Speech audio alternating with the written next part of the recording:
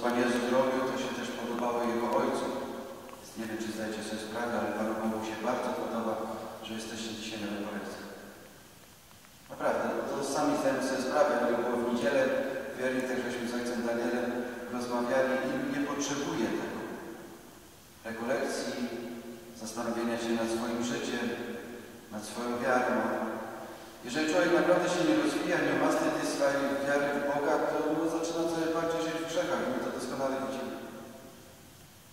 Ciągle też modlimy o nawrócenie, o przemianę, o takie otwarcie się na Boga i na, na działanie Bożej łaski. Dziękuję za Waszą obecność na rekolekcji, jednocześnie cały czas proszę o modlitwę. Za tych, których brakuje z różnych powodów, że szczególnie też potrzebują w naszych rodzinach nawrócenia, przemiany życia. Skoro Panie Jezus mówi, proście otrzymacie, to warto też modlić i za siebie i za innych, żeby wypraszać potrzebne łaski. Kochani, dzisiaj, jeżeli ktoś chce skorzystać jeszcze z sakramentu pokuty, to przez moją posługę w konfesjonale, to taka możliwość jest też od 15.30 do 16.30. Zachęcam do korzystania ze swoich świętych w czasie tych rekolekcji, żebyśmy jutro, kiedy będę udzielał apostolskiego błogosławieństwa na zakończenie każdej mszy świętej, mogli zyskać też pokój zupełny, prosić Pana Boga, aby podarował nam kary które, za grzechy, które żeśmy w życiu popełnili.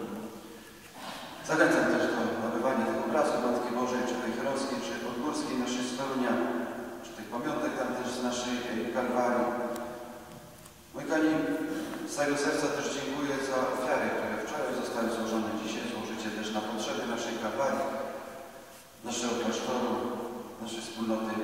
Bardzo, bardzo Wam dziękuję i zapewniam po wdzięcznej modlitwie.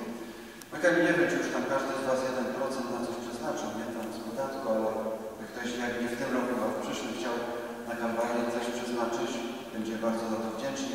Tam na stoliku są takie małe kalendarzyki z numerem KRS-u, z których też bardzo za to dziękuję. Kochani, jeżeli mielibyście jakieś intencje, które chcielibyście powierzyć też na Kalwarii, w tych mszach świętych zbiorowych, które mamy do Bożego Miłosierdzia, w każdym piątek odprawiamy się, modlimy, to można też w kopercie, czy w czasie kolekty, czy poprzez oczywiście do zakrystii takie intencje też złożyć i w te msze w tych intencjach także będziemy się modlili na naszej Kalwarii w piątkowych Eucharystiach. Kochani, dobrze, że siedzicie. Jedna osoba stoi, ale mam nadzieję, że to rada.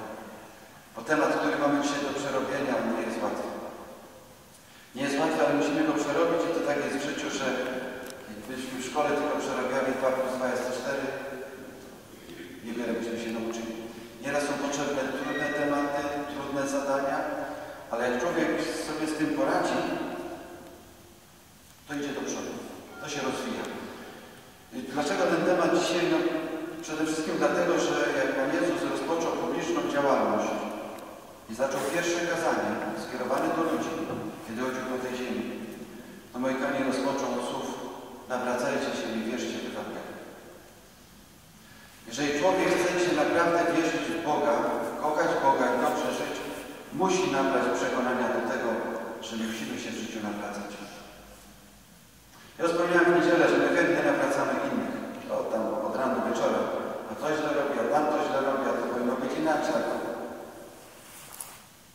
Jak mamy się wziąć za siebie, to jakoś nie mamy do tego ochoty. Albo też nie widzimy, z czego się mamy nawracać. Kochani, jeżeli Chrystus wzywa do nawracania i powiedział nawracajcie się, nie powiedział nawróćcie się raz w życiu, albo w Wielkim Poście, albo w Adwencie. Chrystus użył określenia nawracajcie się, ale chciał powiedzieć nam każdego dnia się nawracajcie. Każdego dnia. Póki żyjecie. Macie szansę na nawrócenie. Moi kochani, co to jest nawrócenie? Jan Paweł II to tak pięknie, krótko określił. Nawrócenie to z jednej strony codzienne odwracanie się od grzechów, żeby uczynić codziennie jak najwięcej dobrego. Czasami mi ktoś mówi, że ojca, ja tam nie jestem taka zła, nie jestem takie zły, bo tam dużo nie grzeszę. Jeszcze nie jest dobry katolik. Dobry katolik to jest ten, który się stara oczywiście jak najmniej grzeszyć, ale dobry katolik to jest ten, który się stara też codziennie uczynić jak najwięcej dobrego. A uczniami, to czytamy na kartach Pisma Świętego o Panu Jezusie, że On przeszedł przez tą ziemię dobrze czyniąc i tego oczekując. Że będziemy szli przez codzienne nasze życie, przez tą ziemię i wykorzystywali każdą okazję do uczynienia dobra. Każdą. Mykanie, jak czasami w nocy nie możecie spać i się denerwujecie, nie możecie zasnąć, to kombinujcie, co, jak wstaniecie, co możecie zrobić dobrego. Bo ci od szatana to wiecie co, jak w nocy nie mogą spać, to nie kombinują całą noc, co zrobić, jak wstaną złego. Myśmy powinni cały czas w takim nastawieniu żyć, że gdziekolwiek mogę zrobić coś dobrego, powiedzieć coś dobrego, żebyśmy nie zmarnowali ten czas. To jest naśladowanie Chrystusa. Iść przez codzienne życie i dobrze czynić. Nie wystarczy być na. Nie wystarczy się modlić, o czym wczoraj żeśmy powiedzieli, że być dobrym katolikiem i uczniem Pana Jezusa. Trzeba jeszcze dobrze żyć. Trzeba dobrze czynić. Więc dzisiaj w tym rozważaniu chciałbym się zatrzymać na tej pierwszej części wezwania Pana Jezusa. Ona nam jakoś tak szczególnie kojarzy się też z Wielkim Postem. Zresztą jak byliśmy w środę pokiercową w kościele, kapłan posypywał głowę popiołem, to też między innymi te słowa wypowiadał do wezwania Pana Jezusa. Nawracajcie się. Nawracajcie się. Moi kochani, żeby się nawracać, to trzeba tak jak z wszystkim chcieć. Jak ktoś się nie chce nawracać, to nawet Pan nic nie zrobi. Ja muszę chcieć. Ja się chcę nawracać. Chcę się odwracać od moich grzechów i chcę czynić w życiu jak najwięcej dobrego. Pan uszanuje wolną wolę człowieka. Jeżeli nie chcesz, to też Pan Bóg Cię do tego nie zmusi. My, jeżeli chcemy nas się nawracać i poważnie traktujemy to wezwanie Pana Jezusa, On to przecież mówi dla naszego dobra, dla naszego zbawienia, dla naszej świętości, dla osiągnięcia nieba. To następną rzecz, którą trzeba zrobić, to trzeba usiąść i poszukać ciszy. A z tym też mamy dzisiaj problem, bo ciągle nam coś brakuje. Telewizor, radio, coś tam jeszcze. Hałas na zewnątrz, wewnątrz. Zresztą sami wiecie, jak chcecie się w ciszy pomodlić, jak ktoś nie mieszka sam, tylko z rodziną, to jest ogromny. Znaleźć ciszę. Wtedy może trzeba gdzieś wyjść na zewnątrz, no chociaż też hałas, ale jak przyjdziecie na Kalwarię, to tam jest cisza. Bardzo można przejść po tej Kalwarii, modlić się, myśleć. Po co nam jest ta potrzebna cisza, moi kochani, żebyśmy usłyszeli Pana Boga? No bo jeżeli ja się mam nawracać, to ja muszę po prostu zobaczyć, jakim jestem naprawdę człowiekiem. I nie patrzmy na siebie tak, jak my patrzymy, tylko tak, jak patrzy na nas Pan Bóg. Bo jak my patrzymy na siebie, to my mamy na wszystkie grzechy usprawiedliwienie. Innym tam nie podarujemy, ale u siebie to przez przypadek, a to nam nie wyszło, a to żeśmy się zapomnieli. A... Wszystko mamy usprawiedliwione. Drugiemu to tam nie odpuścimy. Żadnego grzechu. Sobie wszystko. Jak patrzy na nas Pan Bóg, moi kochani, on najpierw dostrzega dobro.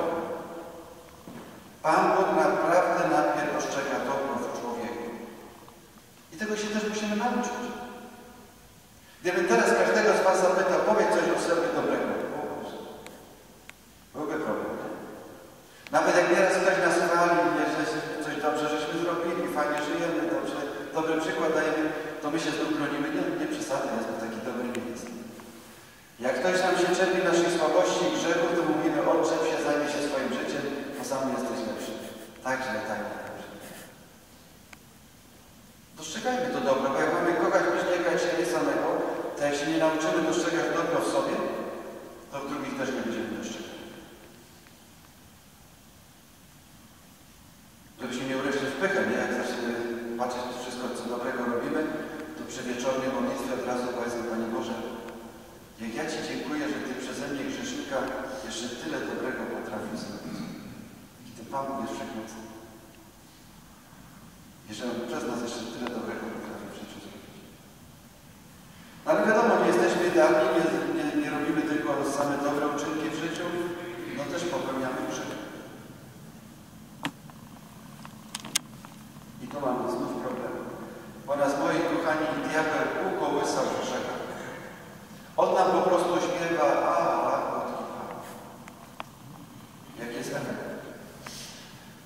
że niektórych już tak zniszczył diabeł sumienia, że czasami ktoś przychodzi do spowiedzi tam po jakimś czasie i mówi nikogo nie zabiłem, nic nie ukradłem, więcej grzechów nie pamiętam. Ja wie człowieku, dobrze, że się przyszedł pochwalić, że nikogo nie zabiłeś i nic nie ukradłeś i cieszę, cieszę się naprawdę, że są w Polsce jeszcze ludzie, co nie mordują i nie kradną. No ale ty masz przyszedł do spowiedzi wyznać grzechy.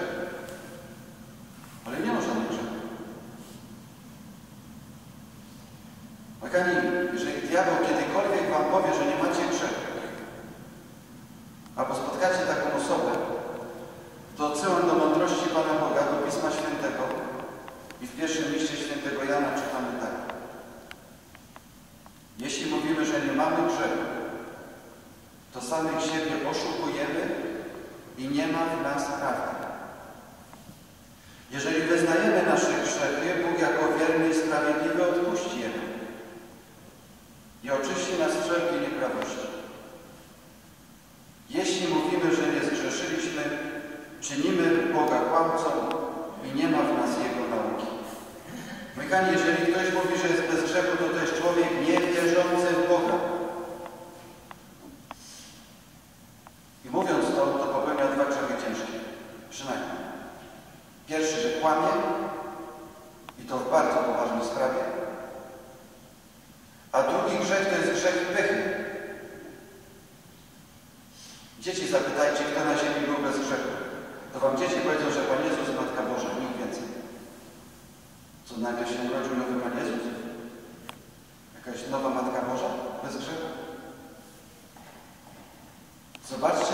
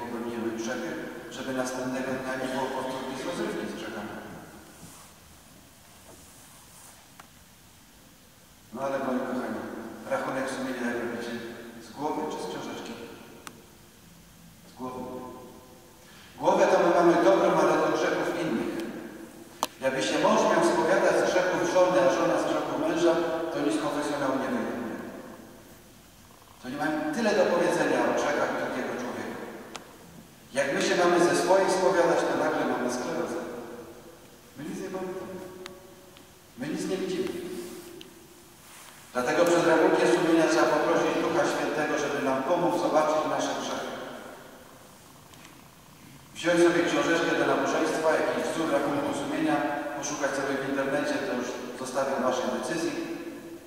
Ale nie róbcie rachunków sumienia z głową.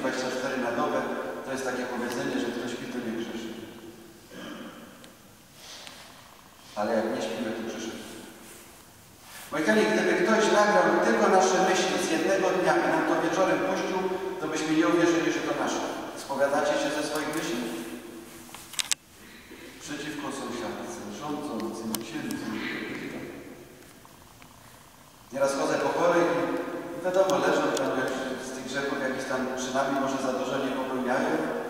No i to pani mnie pyta, człowiek, czym ja tu mogę na grzesze? Sama siedzę, sama tego. Ja mówię, a myślami? Mówi, ojciec, no myślami, tak.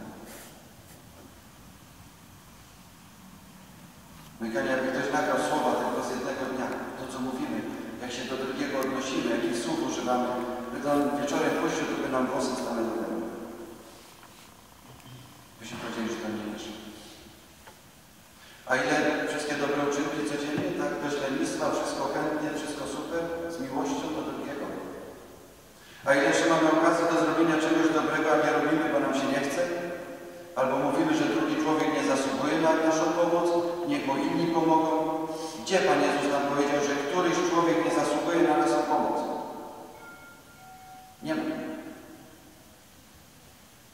Cokolwiek uczynimy drugiemu człowiekowi, czynimy dla Pana Jezusa. Czego nie uczynimy dobrego drugiemu człowiekowi, do tego też nie uczyniliśmy Panu Jezus.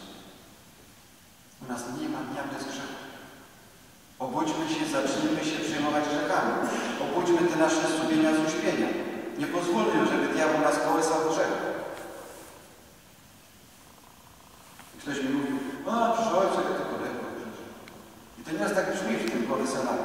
No trzy razy pacierzami odpowiadałem, cztery razy przekrywam, trzy razy coś tam.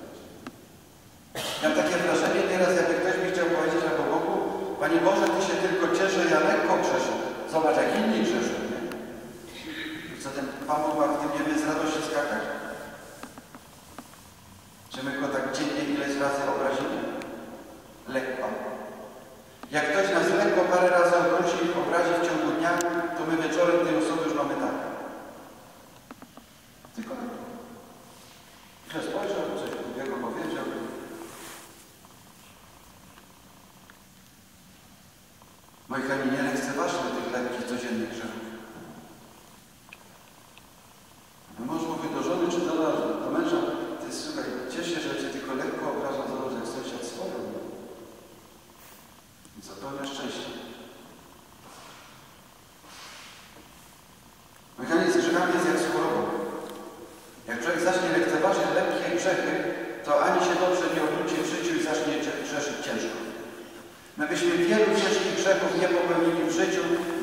zaczęli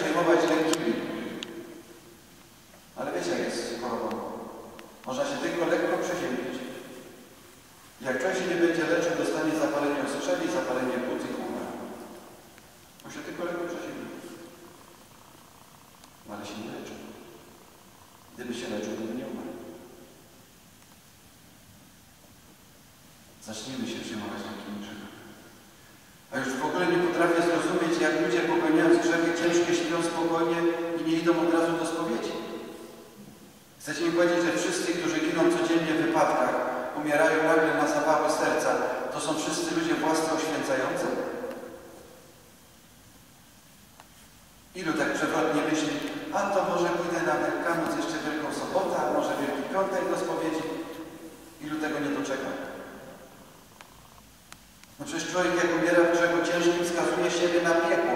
Czy my zdajemy sobie z tego sprawę? A jeżeli zdajecie sobie sprawę, to innym też to przekażcie. No gdzieś po śmierci chcemy być. Nie jest najgorsze to, że człowiek zgrzeszy, bo jesteśmy grzesznikami. Najgorsze jest to, jak człowiek się już przestaje grzechami przejmować.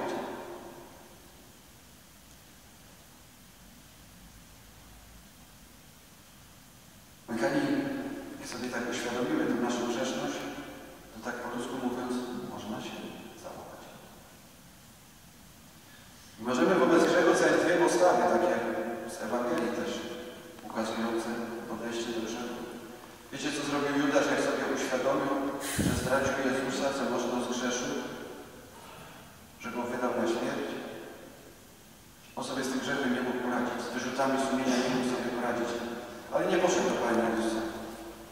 Poszedł i się powiesił.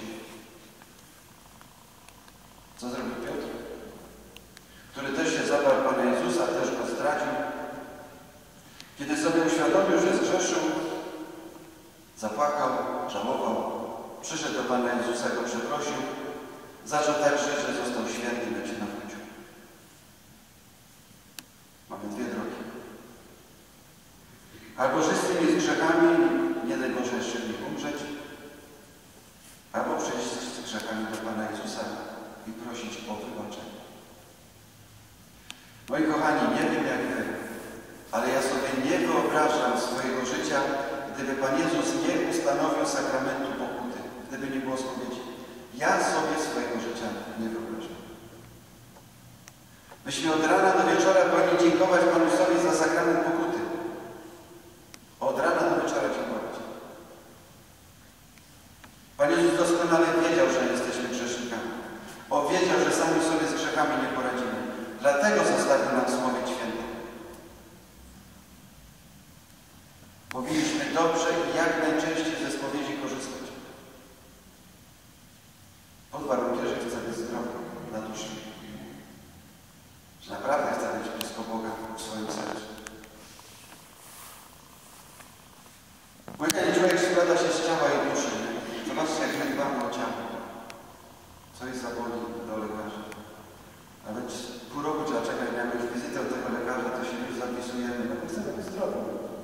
Mamy takie, a inne kolejki w tej służbie zdrowia tutaj jest. Ale po śmierci, jak dzisiaj jeszcze następuje kremacja ciała, to wiecie, ile zostanie z ciała? Tyle.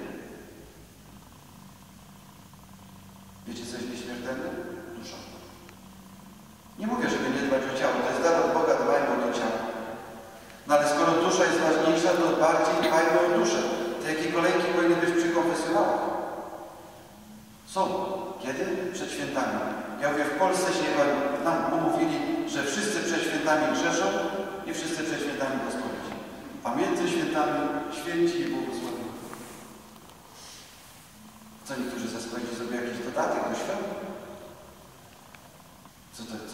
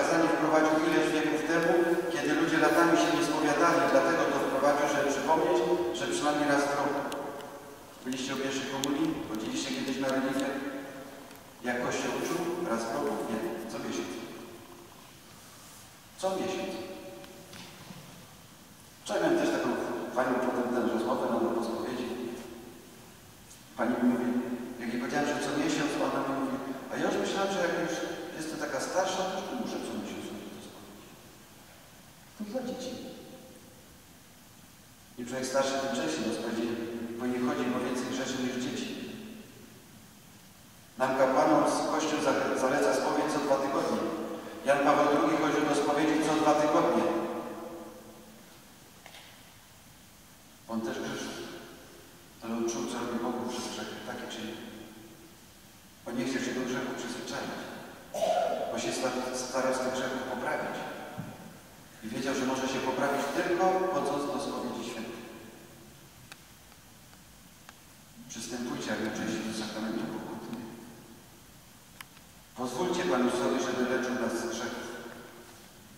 Nie ma grzechu, z którego Pan Jezus nie jest w stanie człowieka wyciągnąć pod warunkiem, że będzie chodził często do spowiedzi. Niektórzy mówią, że ale ciągle te grzechy się powtarzają. Lekarstwa nie, dalej nie grzesz, bo chcesz być zdrowy. No jak się grzechy powtarzają, żeby trwać do spowiedzi. To trzeba korzystać z tych łask, przez które Pan Jezus jest w stanie mi pomóc w walce z grzechem.